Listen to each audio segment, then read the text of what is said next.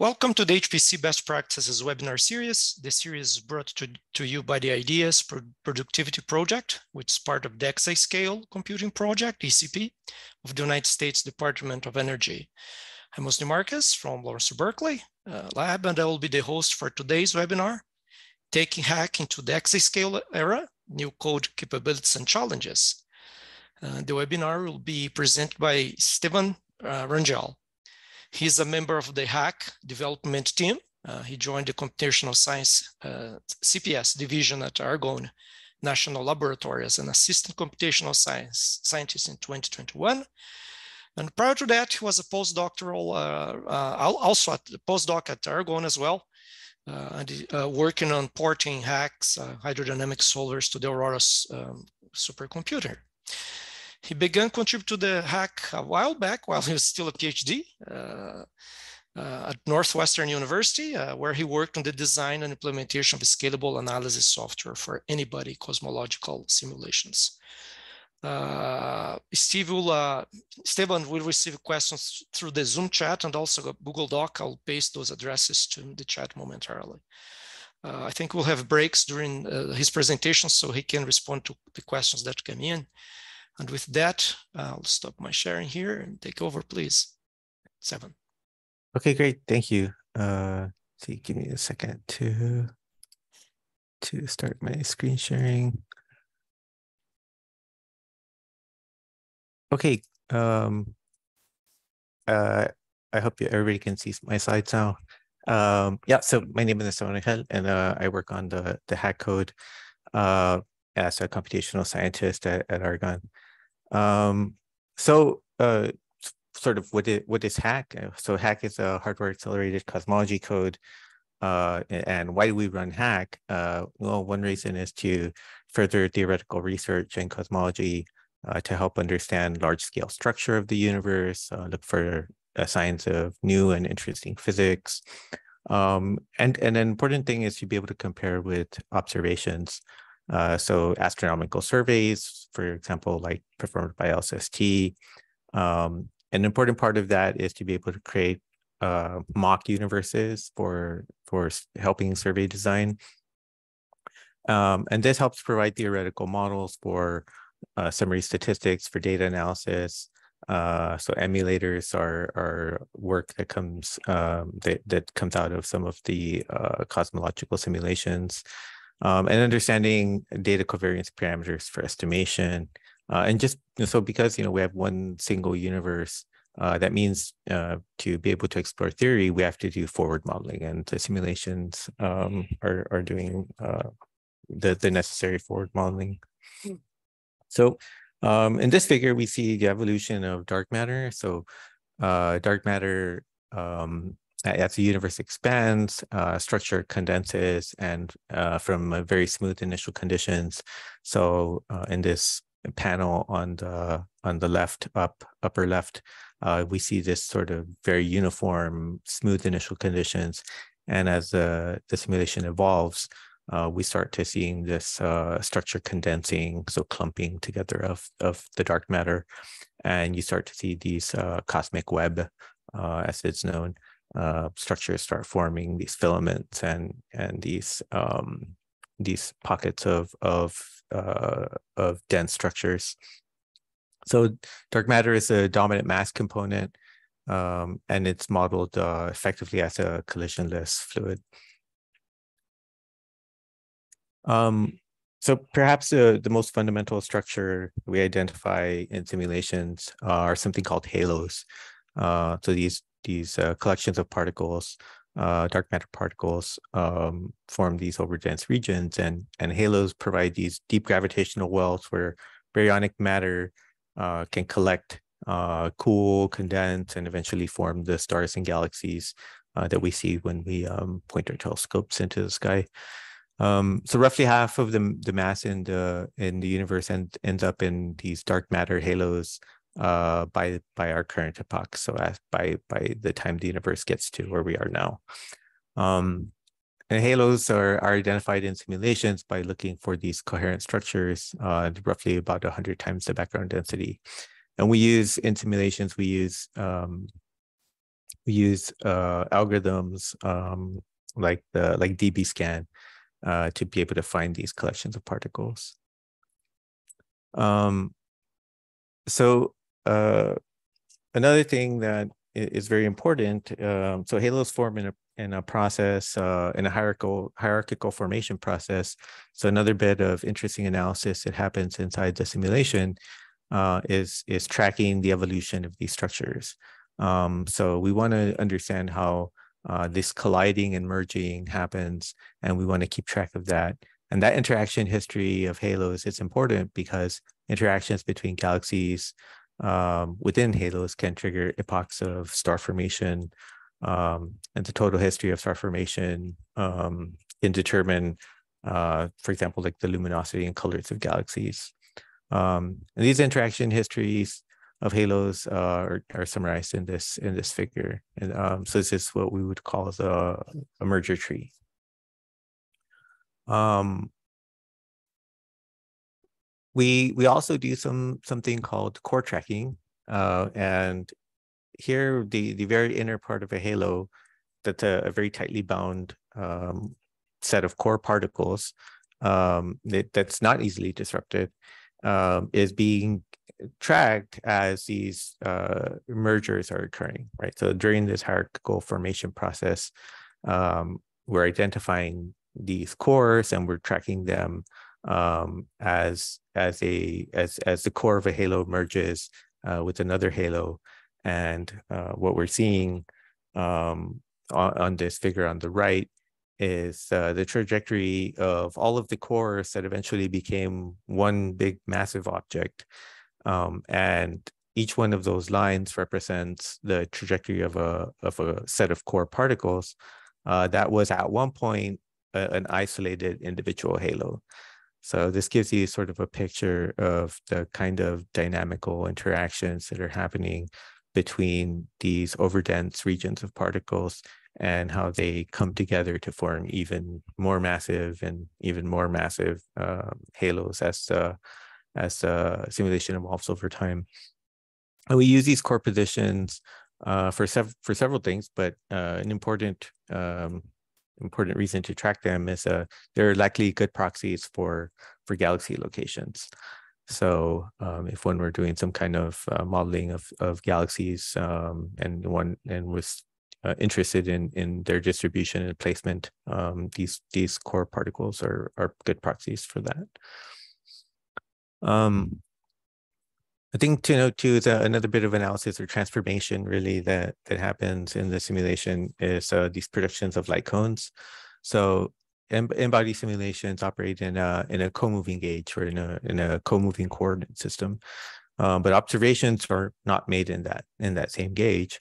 So uh, because the speed of light is is finite, um, we observe objects as as they were when when the light from those objects um, left them and and are now uh, are being collected as as we see them now.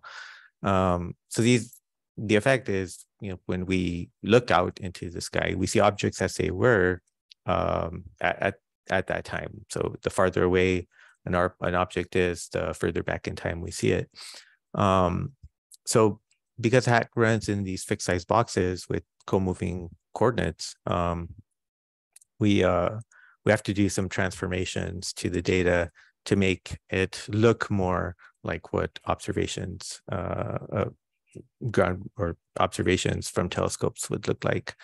Um, and uh, and and this makes the the the data from simulation uh, much more useful for uh, for comparing with observational data we do a, similar kind of thing um, with these halos and merger trees that I had just described to you. So if we want to look at uh, what a merger tree would look like, again, sort of in this uh, frame of, of looking at it as, as an observer would, um, taking into account the speed of light, um, then we do a little bit more processing. And, and that's what this figure demonstrates is how do we take something from uh, a merger tree uh, that's put together from a set of fixed uh, simulation snapshots and if and and place that on a light cone or how do we sort of how would we make those collections of objects that form the merger tree uh, how would that look from the perspective of of an observer um, and uh, so so this is basically taking the merger tree information and and um, taking the the concept of a light cone and, and putting those two together. Um, so very complex things happen in in the simulations uh, and I just want, this is just a, a sort of a, a brief um, overview of the, the kinds of rich analysis or the kinds of rich data that comes out of the analysis um, from, from, from the running n-body simulations, cosmological n-body simulations. Um, I, will pause real quick here just to see if there are any questions because I'm going to kind of change topics a little bit. Uh, no, I think you can continue. Thank you. Great. Um, so I, I want to kind of change topics just a little bit and, and talk about HACC in in the pre-exascale era. Um, so HACC was first designed uh, and run um, uh, at at the very early petascale era. So um, its predecessor code was originally developed as this gravity-only cosmological N-body structure formation code written at Los Alamos um, and was designed and run on the IBM Roadrunner supercomputer uh, that featured the, the IBM cell broadband engine. So from the very beginning, HACC was designed to work on a, in a computing model that uh, was uh, expecting to have uh, an accelerator. So a, a compute uh, computing model with accelerators in mind. Um, and to accomplish this, uh, a principal part of the design is, is this notion of force splitting, where the force of gravity is split into a long range component and a short range component. A long range component of gravity is calculated using this particle mesh method uh, that uses a distributed uh, distributed memory Fourier transform based uh, Poisson solver implemented with MPI. So um, the the long range force is, is calculated um, basically using this, you know, this distributed memory FFT implementation. Um, and and this is a part of the code that that weak scales uh, very well. The short range component of gravity is calculated using this direct particle-particle comparison, and it's implemented uh, with with C intrinsics or whatever uh, programming model um, uh, accelerated uh, for the accelerator uh, is available, and for for the cell, um, this was uh, you know, C C intrinsics. But uh, but the way to think about it is the short range force component of gravity uh, takes advan advantage of the accelerator. Um, so just a sort of you know, more fine grained picture of, of what's happening with force splitting um, the, and, and the reason gravity really is difficult is because it's it's infinite and unshielded. So in in an n-body simulation running on a modern supercomputer, uh, the domain decomposition um, is is such that we have subvolumes of particles, but that means each particle is interacting with every other particle on every other rank in principle, uh, and or on every other part of the of the supercomputer. Um, so that makes it difficult, but the the the separation of of, of scales for the forces um, is is really the the key to to getting uh, good scalability. Um, so to achieve this, the to to be able to incorporate or separate long range and short range, uh, we implement a technique of operator splitting. Um, so this is a kind of leapfrog integrator um, and we use uh, basically a, a, symplectic integration scheme that uses a kickstream uh, combination. So either kickstream kick or stream kickstream. Um, but the the the principle of of uh, symplectic integration is the the central component of this. And the the spectral force handover technology is really the important sort of engineering part of this, um, where being able to stitch together this long range force and short range force is something where uh, a, a, lot of uh, sort of thoughtful um, you know planning has to to to go into this. Um, we use a low order Cloud Cell CIC deposit scheme, and there's a spectral shaping that reduces noise um, to to do this stitching together. Uh, and the handover is, is, extremely compact. So this is pretty important uh, uh, part of this uh, and, and basically three grid units uh, in length for the handover. So using this kind of design, uh, now that we have this, this force splitting technique, this allows HACC, um, I just kind of alluded to, use a, a domain decomposition where the, the large volume of the simulation can be uh, partitioned into the smaller subvolumes. An important part of this domain decomposition is this concept of overloading between MPI ranks. So e each rank has a, a, thin shell of particles uh, from its immediate neighbor. And this, um, this helps cut down on the uh, amount of communication time uh, between adjacent MPI ranks. Uh, so no particles need to be exchanged during the subcycles. So the subcycling is, is for the short range force calculation um, and particles are are refreshed uh, or cached periodically.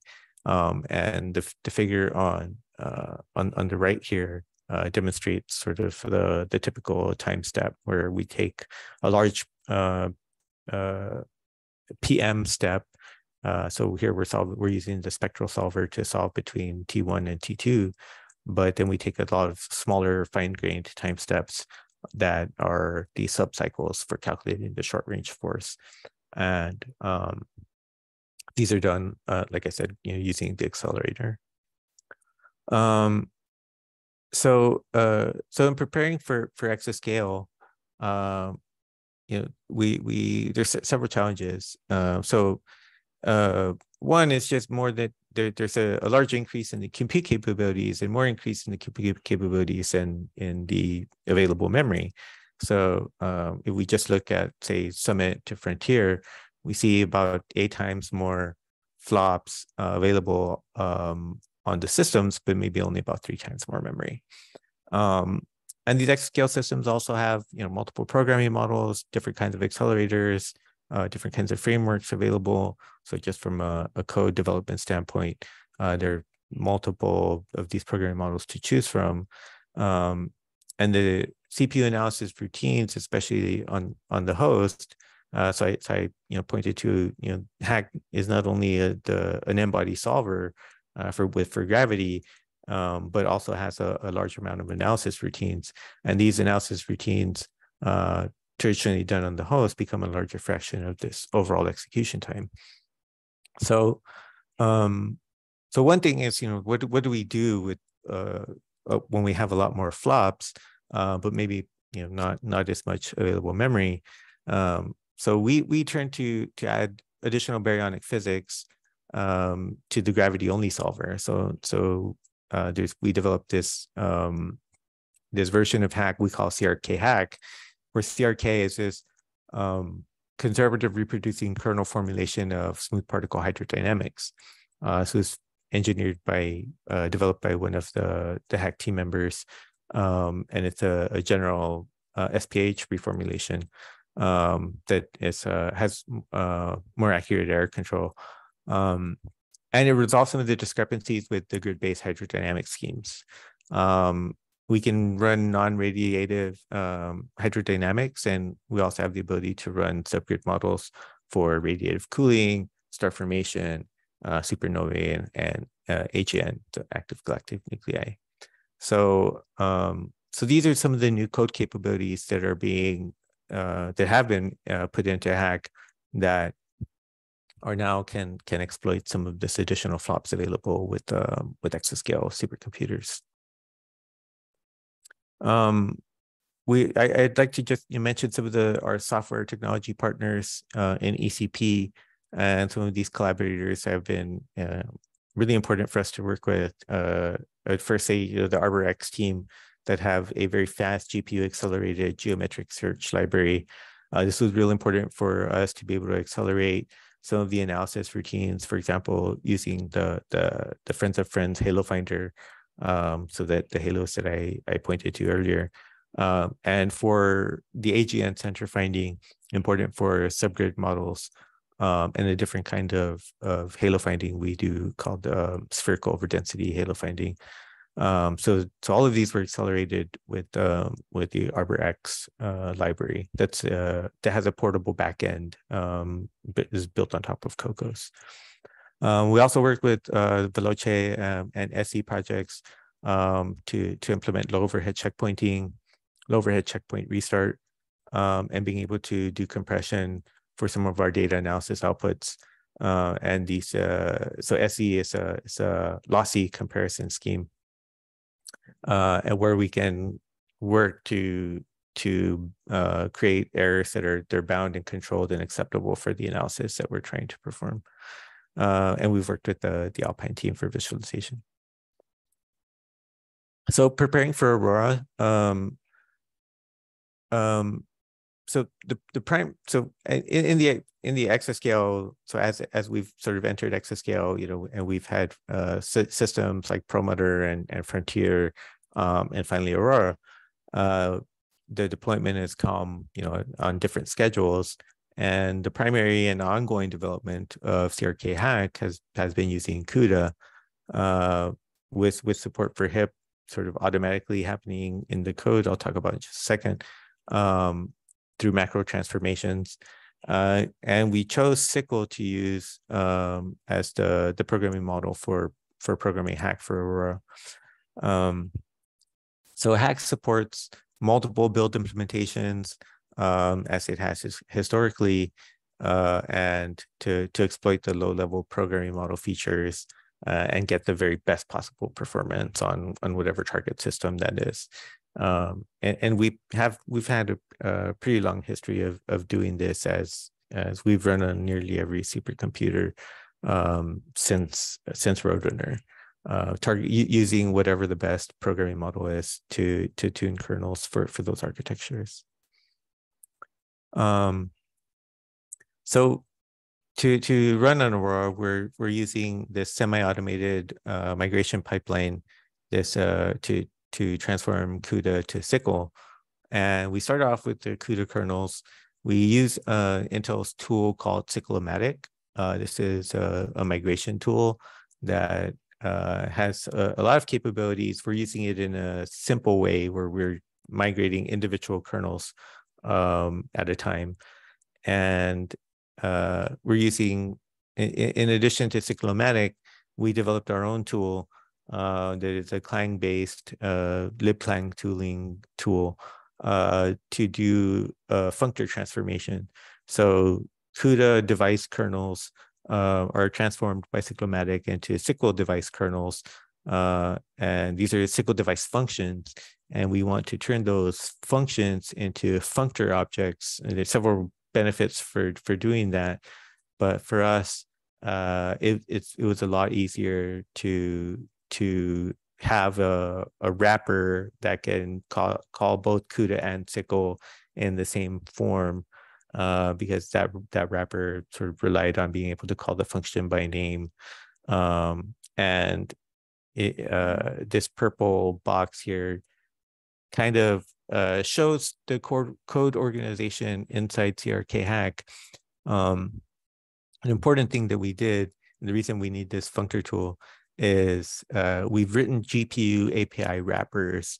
So inside HACC, inside uh, inside the the the code base, uh, instead of calling something like uh, like CUDA memset, we'll call a, a sort of generic wrapper kernel or wrapper invocation that would say something like invoke GPU memset. And we would have uh, different build implementations for the CUDA version, SYCL version, and perhaps any other programming model that we want to support, um, making the host site code a lot more agnostic to whatever the accelerator programming model is. Um, so in, in, order to accomplish that, uh, an important piece of, of this whole process was uh, transforming our SYCL device functions into these SYCL functor objects. Um, another important thing for supporting uh, rapid prototyping and and development. Especially, uh, we've had a partnership with Intel, working with the Intel engineers, is developing a, a, a testing framework or a testing harness um, where using um, using a lot of the same code that comes out of HACC, we can execute kernels, individual kernels um, f- from the solver uh, on their own. So basically, we can we can have an executable that can that's capable of of executing the the individual kernels from the solver. Uh, and the way that they, that works is that uh, we we run HACC basically in in a mode where it can take snapshots uh, of the GPU data and save those for later use by the testing harness. And when we run this testing harness, we can um, load up those snapshots from taken anywhere during the simulation, run the kernel in isolation, um, and even test the the output of the kernel. So if the kernel was modified for performance reasons, uh, this testing harness allows us to even validate that the modifications made were correct or produce the correct result. So this was a very important, um, very important tool that that that was very useful in, in all of this optimization process. Um, I'd like to just show a, a quick movie of an adiabatic simulation um, and this was developed uh, on the or the the code was run on on Sunspot, which is the Aurora test and development system uh, at Argonne, and uh, this just shows you the the sort of the additional physics that's going on inside this um, these new capabilities that we've added to HACC. So what we're seeing on the left is the gas temperature, and uh, gas temperature is going to increase inside these clumpy regions where there's more hydrodynamic physics involved. There's more hydrodynamic interactions uh, happening. Um, and on the right, we're seeing the the dark matter velocity magnitudes. Uh, so inside these tight regions, the, these are the halos of the simulation. Uh, there's more um, there's there's more uh, virial interaction. So so particles are moving around faster um, and interacting more and, and generating more heat for these particles. Um, so so this is sort of a um, just a visualization of the the new physics that we've that we've been able to to integrate. I'll pause again quickly here just uh, for for more um, any more questions. There is one question here. Um, is the CUDA to SYCL migration fully automatic with SYCLomatic and the SYCL functor Clang tool? Or do you still need to go in and tweak individual functions by hand? So it, it is very, very middle. So the answer is is no, but it is, I would say, 98% automatic. Uh, there's still some, there, there's a few corner, ca- corner cases uh, that are, are correctly handled by SYCLomatic, but our functor tool uh, doesn't resolve automatically. Um, uh, temp, template specialization initialization is is one of those things. I mean, it's kind of an esoteric topic, I guess, but but so there there are some there are some particular transformations that we need to do uh, in in the in, our SYCL functor tool that that uh, are, are just I, maybe we just don't know the right uh, uh, uh, libclang tooling, uh, AST type of syntax. Um, but for the for the large large part, I would say about ninety eight percent. I would say yes. Okay, thank you. Continue, please. Um, so so now I just want to point out uh, uh, a paper that we recently uh, published. Um, so this is to appear in P3HPC workshop as part of SC23. Uh, so I just talked about, you know, there's a there's a lot of uh, additional physics and complexity that's going into HACC, um, and you know we're maintaining separate implementations of CUDA and HIP and and SYCL, and uh, obviously you know this is uh, uh, not not ideal, uh, but uh, prompted us to sort of start this uh, performance portability productivity study using SYCL. Uh, so, so this work is, uh, like I mentioned, going to to appear in in the P3HPC workshop, uh, and and the rest of this talk was, is a kind of a preview of of those results. And and uh, of course, uh, I, I join you to to uh, encourage you to to join us at P3HPC if you if you like the the material presented here because the the workshop is centered on all of these topics. Um, so as an experimental setup, uh, we started off with a an adiabatic simulation so uh, of uh, 512 cubed particles. Uh, the two times there because we have dark matter and baryons. Uh, we're taking five time steps with four fixed subcycles. This is this uses eight MPI ranks. Uh, we use four GPUs to do this. Uh, on Aurora, we had, there are six GPUs. We're using four of those just to maintain parity with all of the other systems. Uh, on Aurora, this means one rank per tile because each um, GPU has two tiles. On Polaris, we're using two ranks per GPU because the um, A100 that we used um, uh, just it isn't in a in a tile structure, um, and uh, we we know that that by doing so, there's this results in about an 11% lower efficiency. But just uh, you know, so we'll take that into account when we do our, our analysis.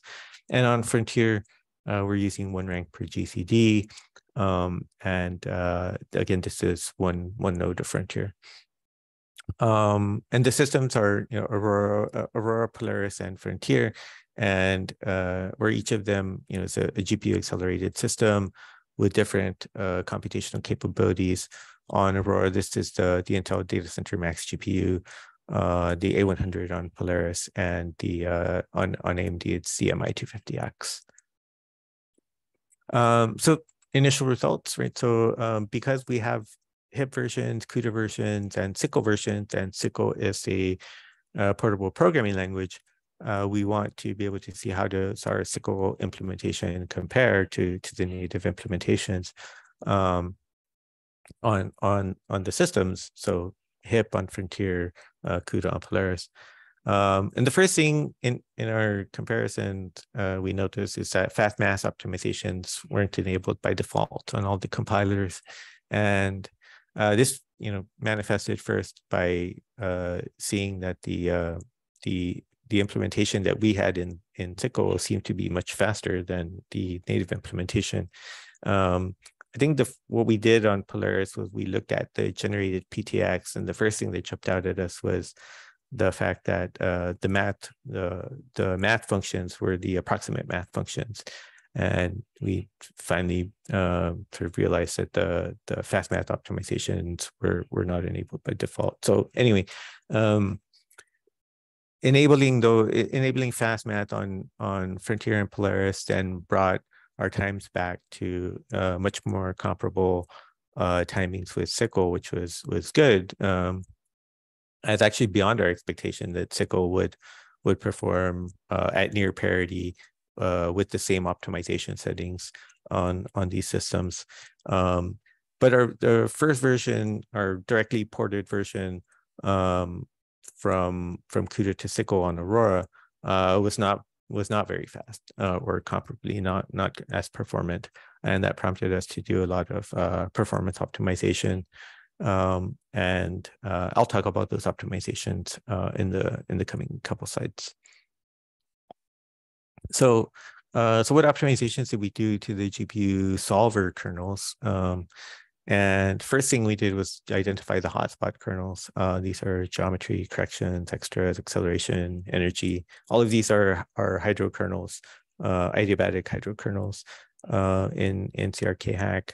Um, the important thing to, I, I, guess, note is that the algorithmic implementation of all of these kernels is what we call a half warp algorithm. So the the thing to take away here is that particles need to interact with each other, and particles are are grouped into uh, are, are partitioned using a tree data structure, but uh, the leaves of the tree are these um, fat leaves that we call, where the the leaves contain some fixed number of particles within them.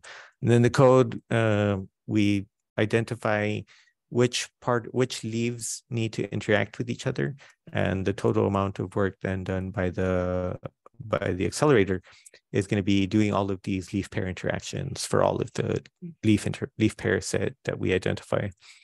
Uh, the way this looks on uh, on the GPU is uh, so either for a, a, warp or wavefront or a subgroup for for um, for the Intel architecture uh, is that we have some number of lanes and uh, half of those lanes are dedicated towards uh, loading particles from some leaf A uh, and half the lanes will interact uh, or will be loaded with particles from some leaf B. And then the idea is to do particle interactions uh, between lanes of the of the single um, either warp or or uh, yeah subgroup size or subgroup um, on different architectures.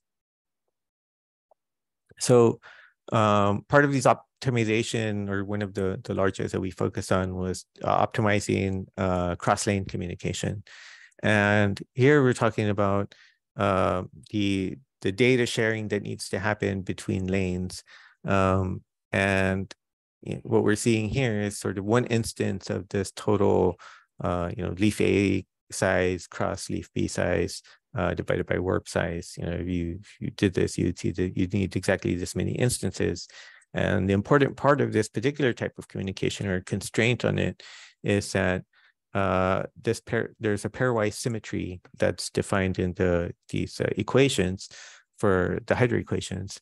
Um, and it's so this is critically important for the correctness. And that by pairwise symmetry, I mean that if some lane I is interacting with some lane J, then at that same time, at that same instance, that lane, that same lane J needs to interact with the same uh, particle I. So you know, if, if we impose this pairwise symmetry constraint, uh, it's a particular kind of communication. Is that communication is captured by an XOR-based shuffle pattern, uh, and in in CUDA we uh, call this intrinsic, the shuffle intrinsic, and the corresponding uh, group function on uh, on the Intel architecture using SYCL will be something like select from group. Um, here I did I just uh, on on the left I I this is a bit getting into the weeds, but um, I'm showing assembly snippet for different select from group uh, code generations that come under different circumstances uh, how, depending on how this is used algorithmically. Um, but uh, the thing to take away here is uh, the, the top code snippet uses uh, a type of register access called indirect register access, where special registers, these A registers, address registers, are used to reference parts of the register file. And this is a very slow uh, this is this this gets executed very slowly. Uh, one um, one access per cycle that what what, what ends up happening. Um, and below is a, a more performant way of of uh, of doing um, of accessing data from the registers uh, called register regioning. Um, so to explore sort of different communication strategies, we looked at using shared local memory, um, where this is a rather trivial thing to do, but where we we create a shared local memory available to the work group on the GPU, and all of the data exchanges between lanes are basically going through a shared local mem dedicated memory for those exchanges. Um, with the with Intel and our partners at uh, the Intel engineers um, coming through the the the Center for Center of Excellence um, at Argonne and Intel, uh, we've we explored restructuring some of these loops basically so that the code generation would look like this more performant uh, code on the bottom. And then we also explored um, using these optimized instruction sequences. So basically writing inline assembly to do the, the exact uh, data exchanges that we wanted. Um, and I just want to note that the for the broadcast version, this this required pretty significant restructuring of the loops. So this breaks the notion of basically being able to use uh, SYCLomatic because the transformation needed to do these broadcasts are are almost rewriting the kernel or significantly restructuring the kernel. Uh, so this is uh, so the question, you know, addressing how how much uh, comes uh, directly from SYCLomatic. So uh, using these broadcast version, uh, not very much at all. these are pretty much hand tuned. Um, so um, I, I, just I, will quickly go over here for for time, but um, this is the, the, basically the inline assembly version of of what we did. Uh, so I, again, I, I showed you the the way this half warp algorithm works is half the particles are from one leaf, half are from another. Uh, after some staring at, at the pattern, uh, we realized that uh, essentially if we could do these cyclic shifts on on half the warp size um, or half the, the subgroup size, uh, we could achieve the same kind of communication pattern. Um, and this basically can efficiently be done with four move instructions um, of inline assembly. Um, exactly the way that looks in register space is, is something like this. Um, I'm not going to spend a long time on this, but if anybody's interested in this particular, uh, feel free to reach out. Um, so I, I, just want to talk now just uh, some of the optimization results. Uh, so for the hotspot kernels, uh, so these are the, like I mentioned, the acceleration, energy, X-res corrections and geometry kernels. So on Aurora, on the on the Intel Max uh, GPU uh, Max, um, the most performant implementation was the the broadcast implementation. Uh, on almost all kernels, I think on some the the VISA version uh, is is still very good. Um, and the the different, the largest differences between the broadcast versions are in these X-res and corrections kernels.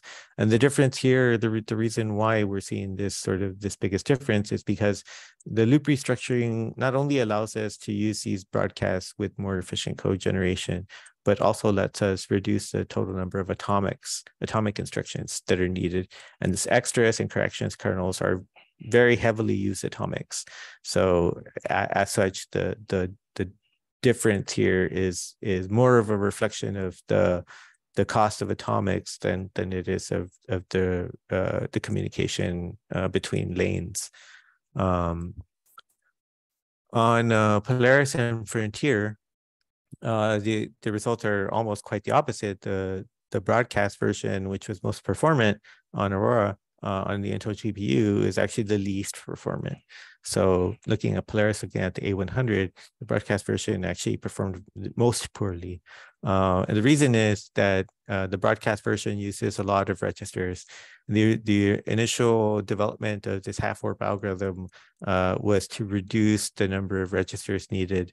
And um, and the the this broadcast version uh, being very register heavy uh, is is sacrificing performance here because uh, because of its excessive register usage. Um, the select from group version that that was sort of least performant, I didn't really point that out, but it was least performant on Aurora is now the most performant. Uh, and like I said, you know, the the shuffle intrinsic and the select from group are are analogous uh, to each other. So the code generation for select from group is closer to, at least from the communication standpoint, closer to the, the native HIP and CUDA implementations. Um, the memory uh, versions of uh, the SLM memory versions that were also pretty good on Aurora um, are also pretty good on Frontier and not quite as good on Polaris. And the reason behind that is that uh, the memory version, uh, the, or the shared local memory and uh, the L1 cache on the A100 uh, share the same memory hierarchy on the GPU. So basically, the the more shared memory that we use, uh, the less L1 cache, uh, the less memory we have in, in the L1 cache. So any any kernel like DUDT and and acceleration or the energy and acceleration kernels that are very register heavy and will have register spills uh, will be able to to least take advantage of the the L1 cache, and the L1 cache is is important for for register spilling. Um, so now I just want to talk about the performance portability analysis. And so we have this metric for defining performance portability. Uh, so this PP metric, uh, where A is an application, P is a specific input, um, and H is a set of platforms of interest. And uh, the efficiency is this um, is this metric on on AMP. Um, and important to note that the application efficiency is calculated relative to a hypothetical application that's able to use the best version of each kernel on every platform. Um, and so this application efficiency graph is uh, is looking at uh, it, it's a it's a cascade plot, and the cascade plot uh, the way to read this is that for each um, each one of these uh, lines on these plots on the on on the on the graph, uh, there's a different labeling. So so the cascade plot is always going to be monotonically decreasing in efficiency, uh, and and what's important to see is sort of the the rate of decrease. Um, so so we could see for for example, the SYCL broadcast version, it was uh, most performant on Aurora. So give the label, the first label was C. Uh, it was uh, less performant on Frontier and worst performant on Polaris, uh, indicated by the label ordering. And you could see the, the steep drop off um, for SYCL broadcast. Um, the most uh, per, the the most efficient um, and and what you see by sort of the, the flattest line is uh, our SYCL uh, um, select plus VISA. And, the, and what this means here is we're using the select from group version uh, on Frontier and Polaris and the VISA version um, on Aurora. And here that has a, a, a application efficiency in, in this cascade chart that is uh, the highest and most flat. Um, and if we want to look at the performance portability, uh, so this is this bar chart, um, performance portability on uh, uh, using this metric, the the highest uh, performance portability was this was achieved by this select plus VISA. Um, so uh, now, now a thing to note here is that performance portability doesn't incorporate uh, a productivity metric. So the, the cost of maintaining the different code bases. Uh, this is so performance portability here uh, assumes that um, uh, or allows for without penalty different code paths. Uh, so different build configurations for the different target systems. So there there isn't a penalty for for having code code paths that are wildly different from each other. Um, and that's really captured with this productivity analysis. So with this metric of code divergence. So with code divergence, now we can look at uh, using this metric, uh, we could look at how, how much code is, how much divergence there is between the code base um, where this uh, distance represents the distance between the, the source code uh, required to solve problem P using application A on platform J. But this gives you this is kind of a like a, a, pairwise distance metric on the code base on, on the differences in lines on the code base. Um, and this navigation chart shows us uh, the way to i guess the way to read this is is um, we have performance portability in, in terms of application efficiency uh, on on the vertical axis and then the code convergence on uh, on the horizontal axis and the fact that all of these different implementations are near one on the on the vertical um, means that uh, for all of the implementations that we have, for all of the specializations that we did, they were very finely, uh, very finely done. So there's out of thousands of lines of code that that make up all of the kernels, the differences between all of these specializations that we did for for improving the communication cost were at most uh, I think the the VISA version is is at most 200 lines of code. Uh, the shared local memory version is something like only 20 to 30 lines of code. Um, so all of the implementations that we have are are not very different from each other in the grand scheme of things. Um, what we have the this this sort of outlier that we have here, this unified uh, basically is is assuming that uh, we're using CUDA that we have two variants of the code. So the, so CUDA for uh for HIP, um, sorry, CUDA for for the A100 uh, on on um, Polaris and HIP for uh, for uh, Frontier and and SYCL for for Aurora, um, and and basically uh, the unified means we have different code versions specific to all of those. Um, so that's why it's an outlier. But all of these are the SYCL implementations, and that's why you see them all lined up um, with with minimal code divergence. Um, and, and so, right, so here, uh, this select plus VISA, it turns out to be you know, the highest uh, highest ranking uh, in, in this navigation chart, being that the the performance achieved uh, and the amount of divergence is you know in a combined way minimal. Um,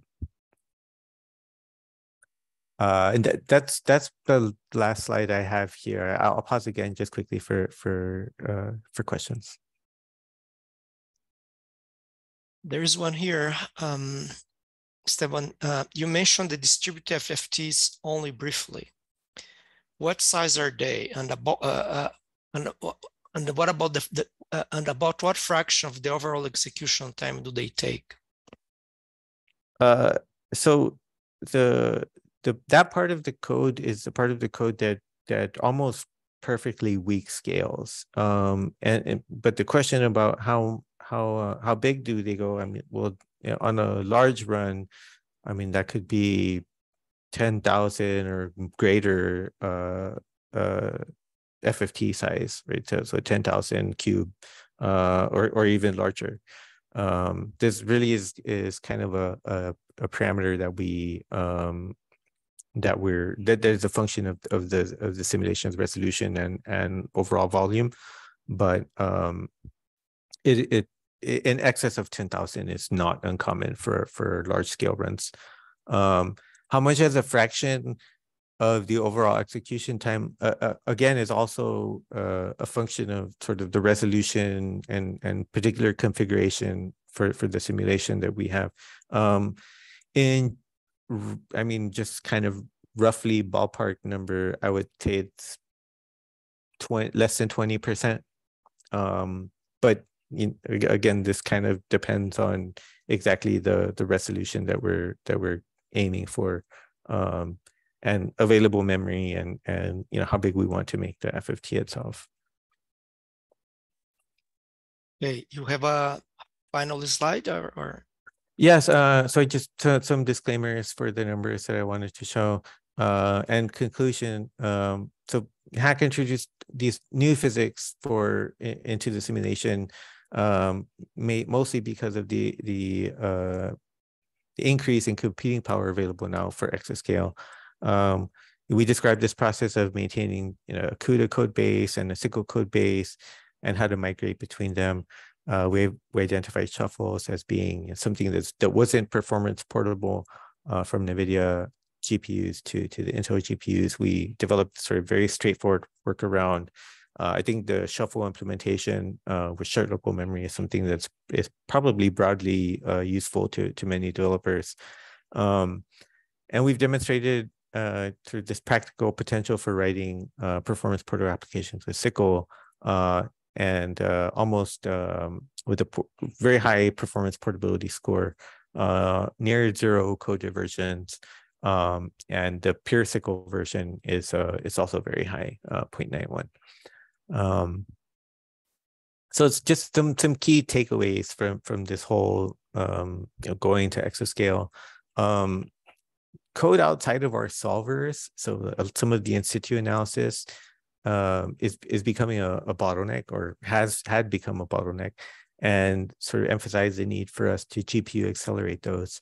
Uh, that this was some of the partnerships that, we, like I said, we did we've done with ArborX, um, where we're using performance portable GPU accelerated libraries to um, to to achieve that kind of uh, speed up needed with GPUs, um, and also you know, get some some portability and expertise from from their team doing these kinds of geometric searches is really important.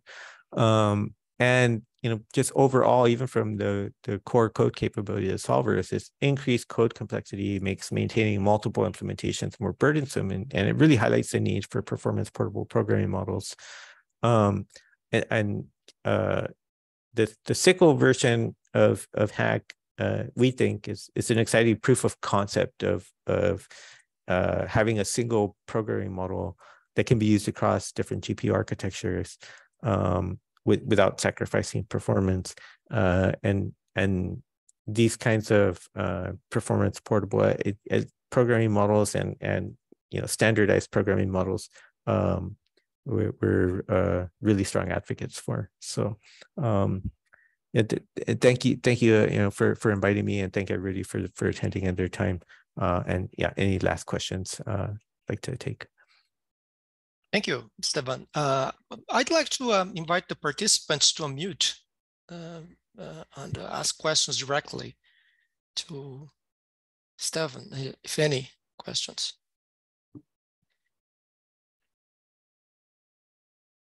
Hey, uh, this is Miro from uh, Oak Ridge. Can you guys hear me? Yes. Sure. Yes. I have a question about the FFT actually. How is your da data distributed across uh, the MPI ranks? Uh, are you using like a box layout or pencil layout? And once you do the for the input when you start the transformation and also at the end of the transformation as well?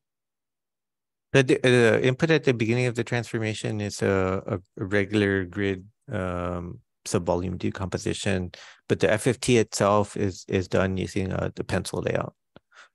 And the, fi the final configuration is still pencil. Uh, the well after we perform the FFTs using pencil distributions and and FFTs, uh, the the one the FFT on the pencils and the final redistribution is back to grid. Back to grid. Yeah.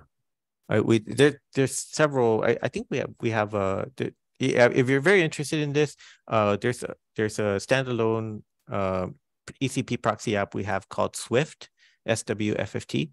Um, and this encapsulates all of our FFT code into a, a standalone code you can download and try um, that I think uh, runs on most major systems. Thank you. And, and, and there's a, a, lot of description as to how it, it works. Um, Thank you. Sure. Any further questions?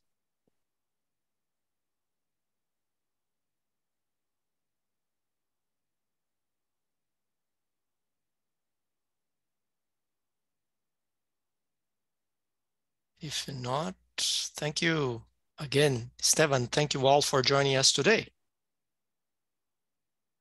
Great. Thank you.